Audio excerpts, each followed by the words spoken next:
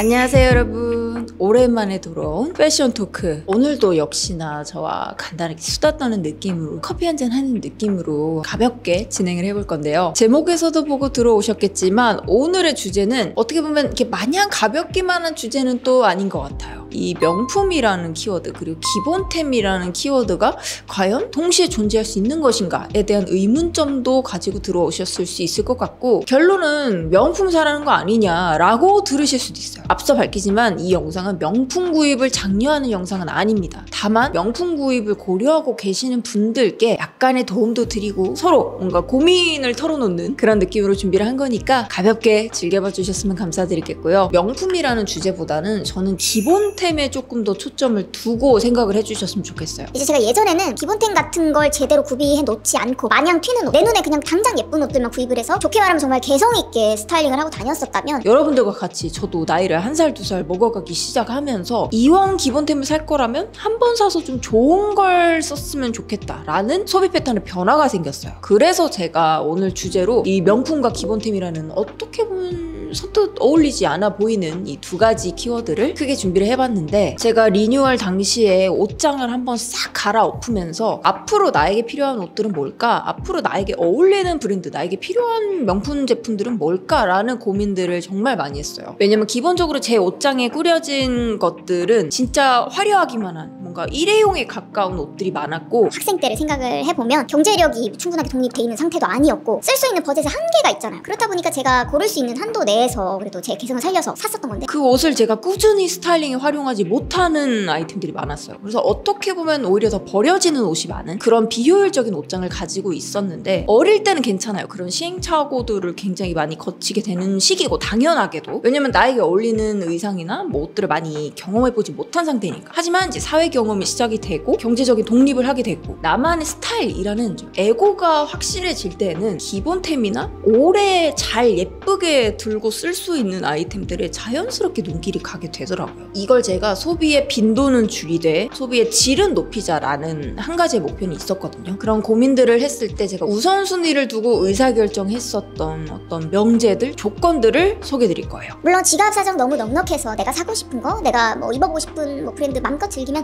얼마나 좋게요? 저도 너무 좋을 것 같아요. 하지만 내가 벌어들이는 수입을 생각을 했을 때, 아, 요 정도의 지출은 내가 감내할 만하다. 라는 인식이 되면 wish list 제품들을 야금야금 모으게 되죠. 그건 솔직히 당연한 것 같아요. 그리고 옷을 좋아하시는 분들이 명품을 싫어한다. 명품을 등지고 살 수 있다? 저는 그렇게 생각하진 않아요. 어찌됐든 뭔가 이 패션의 피라미드가 있으면 디자인의 정점에는 하이엔드 브랜드들, 우리가 뭐 흔히 말하는 그런 명품 브랜드들이 위치해 있고 그 아래에 파생되는 여러 가지 가격대와 여러 가지 스타일과 여러 가지 브랜드들이 있는 거잖아요. 이걸 조금 쉽게 설명하자면 어떤 아이템이 있을까요? 흔히들 얘기하는 버버리 코트 같은 게 있겠네요. 버버리사에서 뭐 체크 패턴과 겉감에 약간의 방수가 되는 그런 레인코트 개념의 옷을 만든 건데 사실 우리 약간 대명사처럼 쓰고 있잖아요. 버버리 코트. 어떻게 보면 새롭게 발명이 된 아이템이잖아요. 가디건, 뭐 피코트 여러 가지들이 있는데 이런 아이템들을 정말 내가 한 번도 입지 않았나? 그렇진 않거든요. 그리고 내가 입을 때 그 원조 브랜드만 구입을 해서 내가 입나? 그렇지 않잖아요. 명품 브랜드들은 패션의 전반적인 이 시장에 굉장히 큰 영향을 주고 있고 우리가 알게 모르게 그 영향을 받고 있어요. 재작년 떠올랐던 Y2K, 뭐 작년에 떠올랐던 balletcore, 그리고 올해 떠오르고 있는 geek chic 모두 다 브랜드가 만들어낸 트렌드예요. 어, 나는 명품을 사지 않기 때문에 명품과는 음, 전혀 관계가 없습니다. 이렇게 말하기는 약간의 모순이 존재한다. 그리고 사실 명품 브랜드들도 따지고 보면 종류가 정말 많잖아요. 어떤 브랜드가 나한테 맞는 브랜드일까? 유명한 브랜드 이름은 알고 있지만 그 브랜드의 특징이 뭘까? 나에게 진짜 어울릴까? 이 돈 몇백만 원을 투자했을 때 그만한 가치가 있을까? 이런 고민들이 너무너무 많이 되실 것 같은데 마냥 또 트렌디한 명품 브랜드나 마냥 또 트렌디한 아이템만 사 모으다 보면 결국에는 그냥 비싼 비효율적인 그런 옷장이 될 겁니다. 요즘에 저는 점점 더 뭔가 기본템이나 나의 시그니처 아이템이라고 할 수 있는 것들을 활용해서 나를 잘 표현하는 것에 집중을 하고 있어요. 특히나 이 기본템은 어떻게 보면 뭐 old money look이라든지 클래식 look과 굉장히 연관이 깊은데 제가 지난번 산다 안 산다 수다 떨 때 이제 클래식은 영원하다. 클래식은 원래 그 자리에 있었는데 old money란 왠이 온 것뿐이다. 뭐 이렇게 간단하게 말씀을 드렸었는데 어떻게 보면 이 기본템과 명품의 이 이미지를 관통하는 한 단어가 클래식이라고도 할 수 있을 것 같아요. 앞서 버버리 코트 예시로 들었지만 만약에 내가 평생 입을 수 있는 이 기본템을 내구 내구성도 좋고 originality도 있는 그런 버버리의 제품으로 갖고 있다면 한 번 크게 투자해서 내가 평생을 입을 수도 있는 거예요. 이런 기본템이 되는 아이템들을 질이 좋고 오래 입을 수 있고 브랜드력도 있는 제품을 구입을 하게 된다면 내가 그 제품에 좀 더 애정을 갖고 오래 입게 되는 계기가 되기도 합니다. 뭐 예를 들어 그냥 막연하게 내가 명품을 사고 싶을 수 있어요. 그거는 본인의 결정이니까 아무도 터치할 수 없습니다. 다만 누구나 실패에 대한 두려움은 갖고 있을 것 같거든요. 특히나 명품처럼 가격대가 좀 높은 상품에 내가 실패를 해버린다 라든지 돈 낭비가 된다든지 저뿐 아니라 아마 여러분들도 많이들 좀 두려운 부분이 아닐까 하는 생각이 드는데 내가 저 제품을 샀을 때 후회가 될 것 같다라는 막연한 두려움 그런 것들을 어떻게 좀 긍정적인 결과물을 낼 수 있도록 바꿀 수 있을까 그에 앞서서 수반이 되어야 할 게 첫 번째로 내 스타일과 맞는 브랜드를 공부하고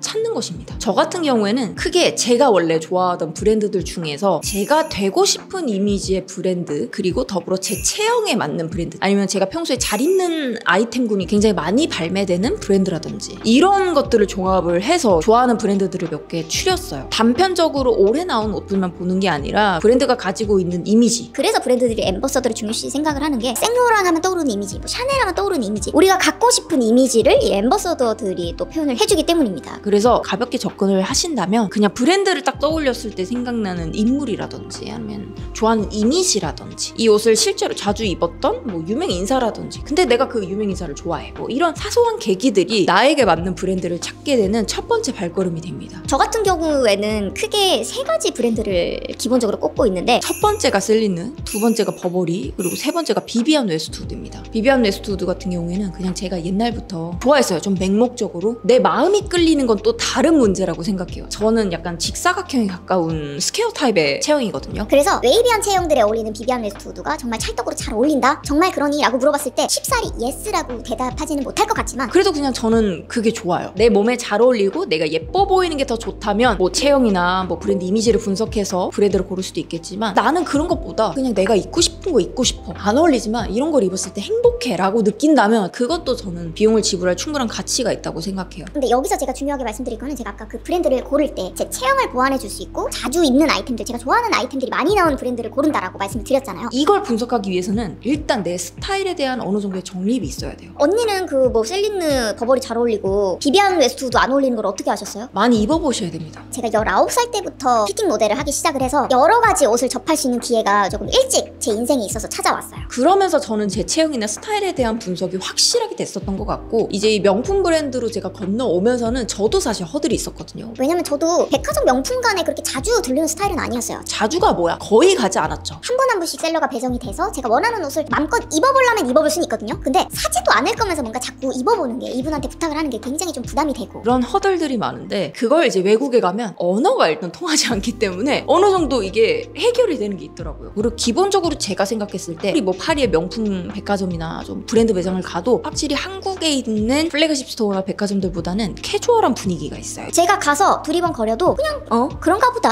약간 이런 느낌이 좀 있거든요 캐주얼하게 명품들을 경험을 해보다 보면 한국에서 이제 브랜드 매장에 가도 여유가 생기고 덜 겁이 나더라고요. 해외에서 쇼핑을 할 때 그런 브랜드 매장에 가보는 것들로 많이 극복을 한 편이에요. 그래서 최대한 많은 경험을 해보시는 게 이 명품 브랜드를 구입할 때 실패하지 않을 수 있는 방법 중에 하나입니다. 그러니까 내 기준이 확고하면 그만큼 실패할 확률이 더 낮아지는 거죠. 자 이제 내가 구입하고 싶었던 wish list의 브랜드들을 어느 정도 채웠다면 이제 더 중요한 게 남아있죠 거기서 뭘 살 것인가? 명품 브랜드들이다 보니까 아무래도 무턱대고 예뻐 보이는 아이템을 사기에는 가격적인 부담이 없을 수가 없잖아요 그래서 저는 어떤 브랜드들을 고르셨건 간에 제가 가장 기본으로 추천드리는 아이템들 몇 가지를 아예 그냥 찝어드릴게요. 모든 명품 브랜드는 매 시즌마다 기본템을 한두 개씩은 꼭 내요. 이런 것들을 노리셔야 돼요. 첫 번째는 기본 티, 두 번째는 기본 바지, 세 번째는 기본 셔츠 혹은 top 제품, 네 번째는 기본 신발입니다. 이 기본이라는 거는 개개인이 기준이 될 수가 있어요. 저한테 기본 신발이라 하면 까만색 로퍼거든요 저한테 기본 top이라 하면 좀 inner템으로 입을 수 있는 그런 티셔츠들 그러니까 각자 이건 떠올리는 아이템들이 조금씩은 다를 수 있지만 어쨌든 만약에 내가 브랜드들을 골라서 그 중에서 내가 쇼핑을 좀 하고 싶다 그리고 한 번 사서 잘 입고 싶다라고 생각을 하신다면 이 네 가지 아이템 안에서 우선적으로 아이템을 골라보시는 걸 추천드릴게요 그리고 또 한 가지 팁을 더 드리자면 저는 슈즈와 악세사리들 특히나 추천드립니다. 그 백화점 보다 보면 명품 브랜드들 뭐 1층에는 뭐 가방이나 잡화, 뭐 신발, 액세서리들 팔고 2층에 가야지만 이제 RTW들을 볼 수 있는 경우가 많잖아요. 그게 왜 그렇게 했냐? 아무래도 이런 작은 소품류들에 대한 접근성이 다르기 때문에 그렇습니다. 좀 더 자주 들게 되고 자주 신게 되는 어떻게 보면 좀 악세사리 개념으로 가져가는 거다 보니까 몸에서 너무 많은 비중을 차지하지 않아서 가볍게 도전해 볼 수 있는 아이템이기도 합니다. 그래서 가방, 슈즈, 벨트 아니면 선글라스 같은 작은 악세사리들부터 도전해 보시는 거 추천드리고 본인이 자주 사용하는 아이템이 있다면 그 브랜드에서 본인이 생각하는 적당한 가격대의 제품으로 구비를 해두시면 여기저기 받쳐 입기가 정말 좋으실 거예요. 근데 언니 아무래도 저는 이 가격적인 허들이 좀 너무 크고 솔직히 말해서 요즘 나오는 명품 브랜드들이 예쁜지를 모르겠어요. 라고 생각하시는 분들도 계실 거예요. 그런 분들께 적극 추천드리는 방법은 바로 빈티지를 경험해 보시는 겁니다. 컨디션은 새 것 같지 않을 수 있으나 가볍게 한 번에 많은 제품 들을 좀 경험해 볼 수 있는 그런 계기가 되기도 합니다. 빈티지 명품 같은 경우에는 오히려 그 옛날에 코코 샤넬, 뭐 샤넬 빈티지나 아니면 old Celine 같은 경우 오히려 지금의 명품의 가치보다 예전에 나왔던 아이템들에 대한 가치를 더 높게 평가해 주는 경우도 있거든요. 내가 찝어뒀던 브랜드들의 옛날 옷들을 보면서 와 옛날에는 이 브랜드가 옷을 이렇게 만들었었구나. 아 지금은 이렇게 변했구나. 되게 많이 변했네. 뭐 이런 다양한 것들을 경험을 해보셨으면 좋겠고 내가 선택한 이 브랜드가 나중에 또 어떤 가치 로 변모하게 될지도 한번 생각해 보게 되는 그런 계기가 될 거예요. 그래서 저는 개인적으로 큰 규모의 빈티지 명품 매장도 꼭 한번 경험해 보셨으면 하는 바람도 있습니다. 여기 명품 브랜드들 쇼핑하는 것도 제 list up 쫙 해놨거든요. 이것도 한번 눌러보시면 좋겠고요.